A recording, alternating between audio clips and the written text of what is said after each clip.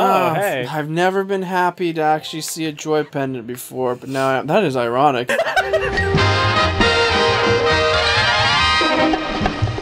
Better than anything you can get without a prescription. Welcome back to my scrapbooking club. I'm Josh. I'm Nathan. and you're watching Scrapbook Extraordinaire. Ooh. With me, Sexy.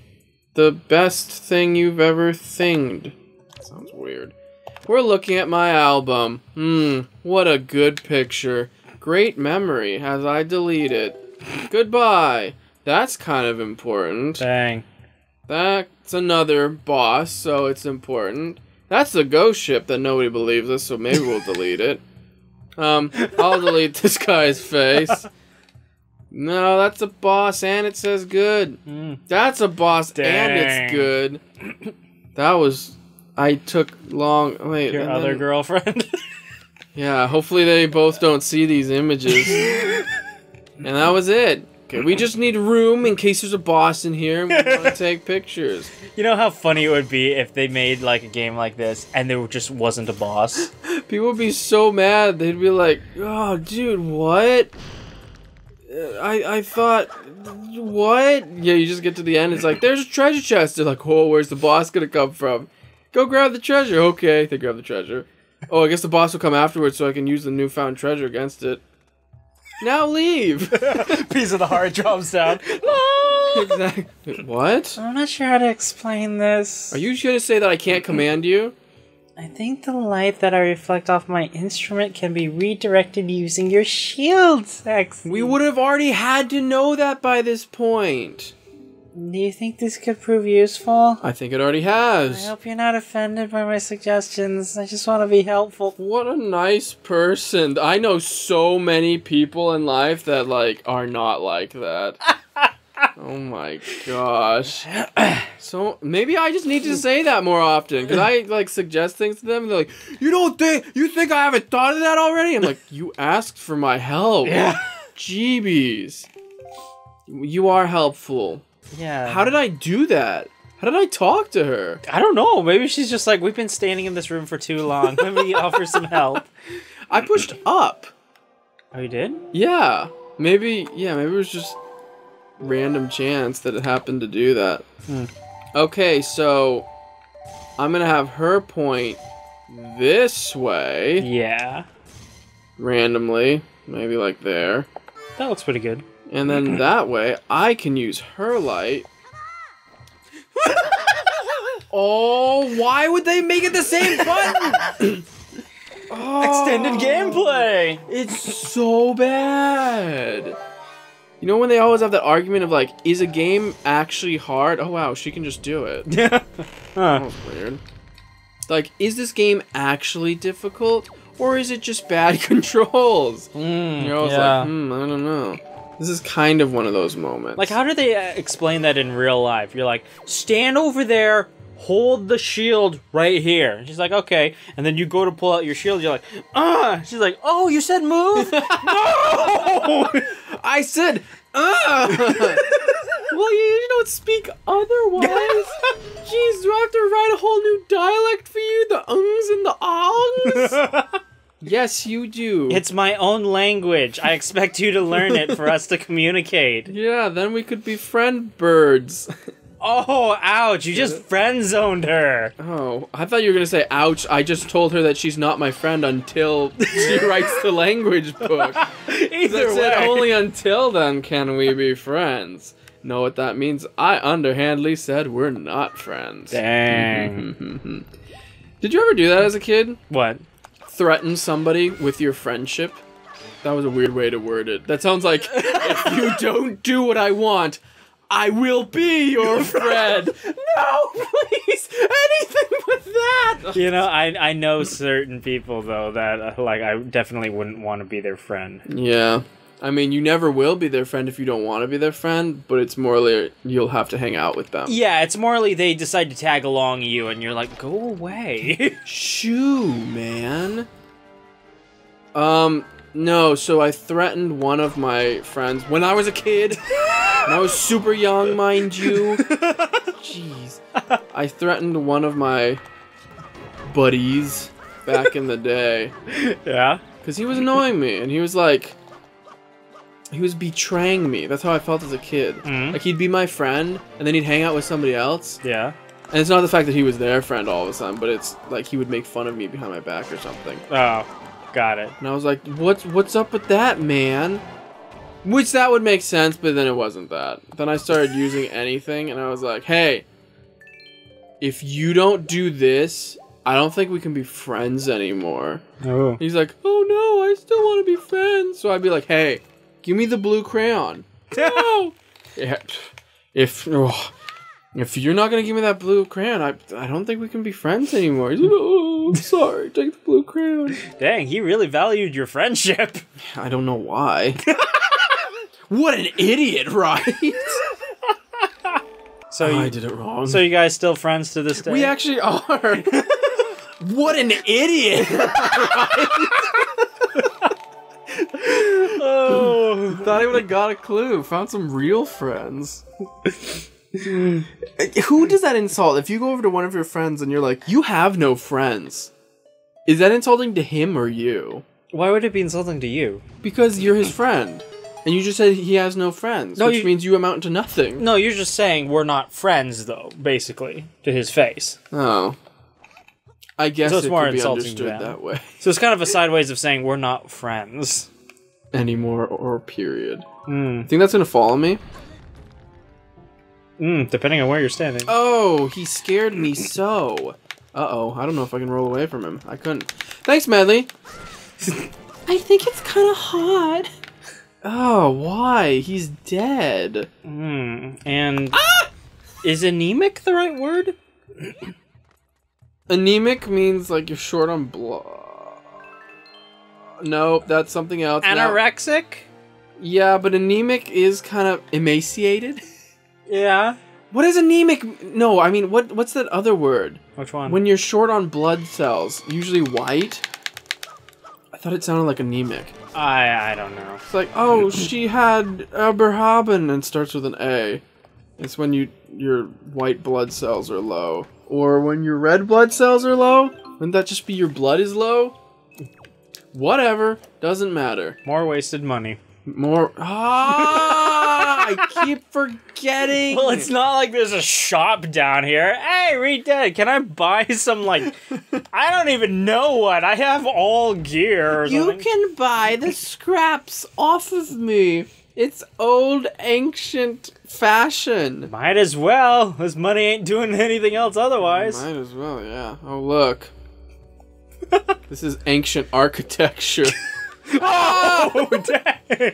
Medli's standing by it like she's one of those museum tour guides. I was gonna say hostess. I don't know hmm. what you'd call them. And this is the rock of Saint Jane Arthur. An amazing figure. She rocked the house with her wondrous things. You destroyed the modern art, you criminal to society. I was just trying to add to it. Did you see how I balanced that bomb on top of that? Dang. It's like majestic art. It's it's only there for a short period of time. Majestic art? Why not? You just said it so like confidently that I was like, I've never heard of this majestic art. If you would have said ephemeral art, I would have been like, yeah, okay, that makes sense. yeah, but n- not many people would know what that means, so they just call it majestic art. It's like art that's only there for like a brief moment and then it's gone forever. But why? do- How does that make it majestic? It's like a Ephemeral makes more sunset. Like a sunset. It's majestic when you look at it and then it's gone. And you'll never get that sunset back. I guess. Ever. Oh, poop. Oh, fate worse than death. Oh. This fog isn't coming all the way down here. I should be safe. No. Okay, I am safe. Good. You stay here. I will kill these people for you. And how are you going to get out of here? I'll cross that bridge once I get there, Oh gosh. mister. oh. Should have had your your uh Uh. the the the leaf so you could blow it back at him after. I timed it better that time. Game of hot potato. Does that work with hot potato? Did you ever play hot potato? I think so. And Like, I I'm probably lost. I had a sobby childhood. I'm trying to think like hot potato. Like I can see like when they actually commercialized hot potato, and they like sold the the hot potato, and it was like a timer so that you passed it around, I and then when it rang, they were selling a hot potato. Get them while they're hot. Because it wouldn't work if it's not hot. Get get it? But I, I remember just like playing hot potato like with a rolled up sock or something. Ew, that's gross. Well, it was a clean sock. It wasn't like let's Oh, play hot okay. potato. Let me take off my shoe and roll up my sock. Here we go. That's what I figured. I mean, that would actually make sense though. Then it's yeah, then more you like want to hold it. yeah, exactly. Like oh gosh, it passes off. Disgusting. But then how would you figure out who lost? Was it like um yeah, that's what I'm saying. musical chairs? Like there was music playing and then they just This is why you need adults. Because as kids, it's just straight anarchy. Hmm. I can't fly higher. Now I'm get, doing that thing where I'm like, so you need adults to to give you structure. Hmm. Because I can totally see that game being like my least favorite game ever. Mother May I. Oh, that that was, that game was stupid. It's stupid, but it does teach you a good lesson. Who your friends are? No, listen to your mother. oh, and always ask her for advice. That's true. It also teaches you that your mother shows favoritism. dang, it does. Yeah, and then at the end of the day, the loser is the person who their mother doesn't love them. Dang, I mean, I guess there's no arguing with that one though. now that I thought of it, I'm wondering if all of our audience members even know what Mother May I is. it's pretty old. And I'm sure it has died off because, like we both said, it's pretty stupid. I it's don't like tic tac toe. What? Like tic tac toe. It's like it's fun the first few times, and then you figure out the logic to it, Yeah, and and then, then you can never play it again.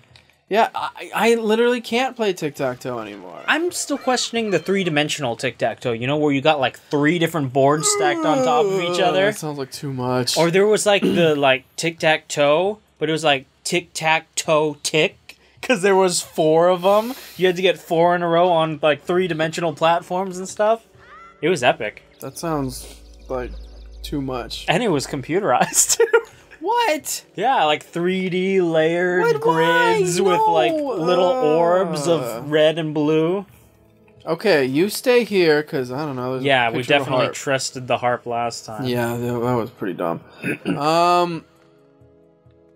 Oh, this is where a staircase is going to be made. I've seen that enough. I think that's where the door is going to open, but sure. Uh, we need light.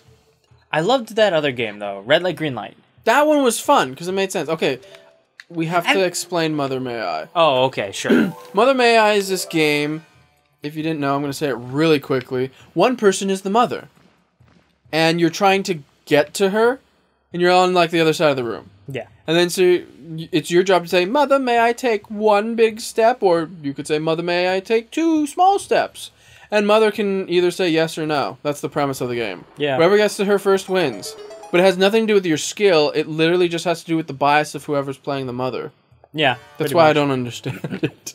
It's weird. And then you'd always play with those those people who like two people were friends. Oh, I hated that. So then and your kids, so you have like this crazy friendship where it's like you will always be friends until I don't know. Like, you know, if you don't help your friend and they're like, "You betrayed me." Kind of a thing. Mm. So, yeah, so you're just playing, and once it's that way, then you'll never win. I'm like, there's no skill. Yeah. This game makes no sense. Pretty much. Why? So, that's my whole spiel on why Mother May I is not the game for me. Which is why I liked Red Light, Green Light better. Still the same premises of trying to get to the end, but you had the person at the end, like, turn their back to everybody and then say green light, and then everybody had to run towards them, and they turn around and say red light, and anybody they saw moving was out. Yeah. Which is another good thing that teaches people you don't run the red lights, otherwise you're busted. No, it teaches people you don't get caught rounding the red light. like with most things, kid, it's not kid. I'm only talking to one kid now. One kid. like most things, peeps and kids, it's not about not breaking the law. It's about not getting caught. wow, is that our moral for today? I hope not. it's true, but it's not really morale. Mm. The T. Can I can I tell her to come down? I don't know, maybe. Medli, won't you come on down? Join me in this fun town. Hey, I could. I was gonna say playground, but sure. Is this a playground? Why not? Oh, look, we can kill this elephant. Hmm. Nothing I love more than killing elephants. the smell of elephants dying in the morning wakes me up every term. I always wondered how Link does this. What? With his little hands, he grips absolutely nothing, a flat surface, and moves stuff. That is true. So impressive. What a man. Well, you do have the strength gauntlets. Strength doesn't let you grab You're flat just surfaces. Shoving your nails into the Oh, rock. jeez, that's even worse. I thought you were gonna say my whole fist into the rock. You- like your fingers are like, and then just pulling it. Okay, so now I have this one which shoots in this random direction. It definitely looks like there's something that's supposed to go right there. So tell her to burst the light on that. No, see, you're supposed to stand there, Ah. so she stands there and shines the light towards you over there. I'm shining this light right around here. Looks good. Yeah. Now I'm gonna go over here and be like, shine on your brother. Oh, dang it. And I'm gonna stand here. And I'm gonna start destroying these things. I hate that it has to play like this long mm cutscene. And guess what? I actually have to shatter all of them because this thing's so tall. it's the land of mirrors. Oh no. Mirrorland. Oh gosh. Moraland. Merla- Moraland. Moraland. Guess what? It's money that I can't hold in my purse. I mean, wallet. Whoa! dang. Ah, this land is cruel. Ugh. I should just let it go away. Hmm. Watch all the OCD people scream. I, yeah. I'm kind of like that. Okay. Oh, that was it? For that half. Now you gotta that fix- half? Yeah, there's the whole other half of the room. But that looked like it pretty much covered everything. Yeah, but what's it doing? I don't know, but it played the song. Come on! To the other side of the room! Whoa! You're assuming she could jump down from there. Oh my gosh, thank goodness. Knowing her, she doesn't know how to. it's- Okay, so maybe she can jump down, she can't climb. I don't know. Did I say come on? Because I was trying to pull out my shield. it worked either way.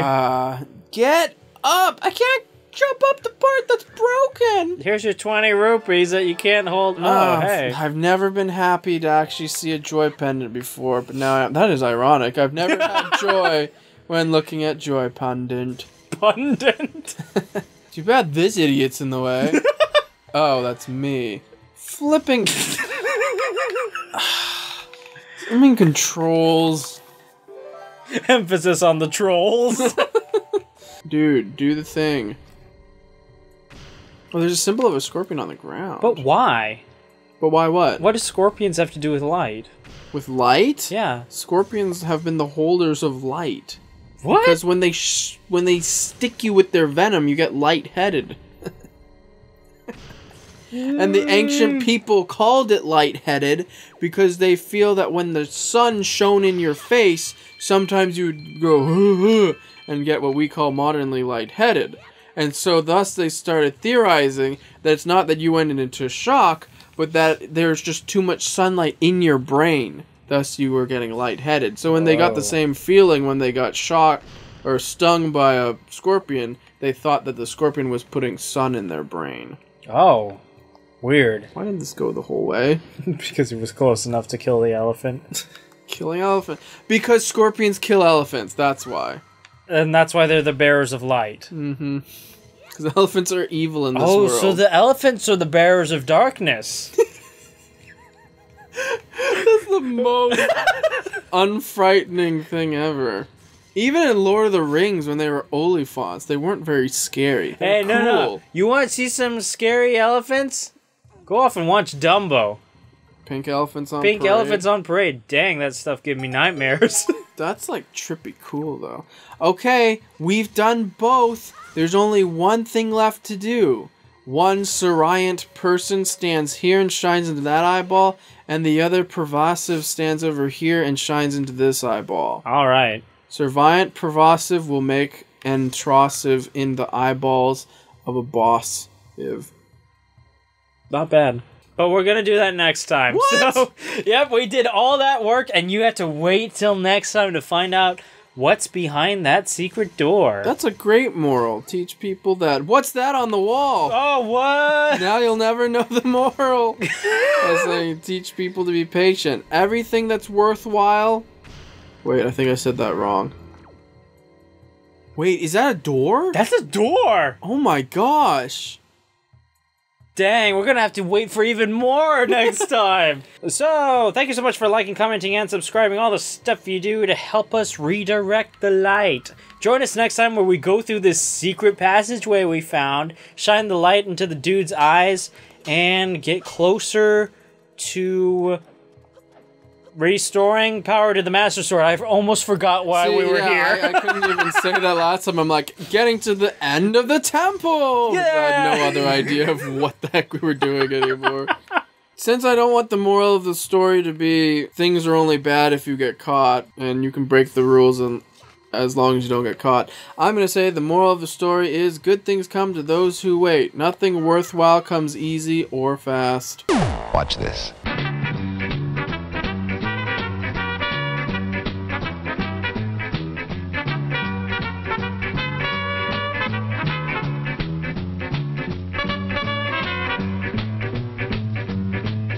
So that means everything you get from Amazon if it has one day shipping, it's, not, worth it.